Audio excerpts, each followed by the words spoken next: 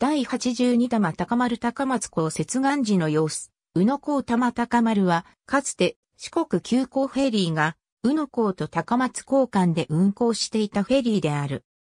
2017年3月13日からの第一使用度島丸就航、同年4月1日からの高松ウー宇野航路の2隻1隻体制への変更に伴い、第85玉高丸が2017年3月12日付で、第87玉高丸が同年3月31日付で、それぞれ退役した。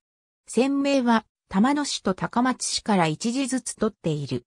航路及び運行主体については、四国フェリーを参照。2019年12月16日をもって、この航路は休止された。船内客室には、テレビ、売店、マッサージチェアがあった。また、無料で利用できる浴室が設けられていた。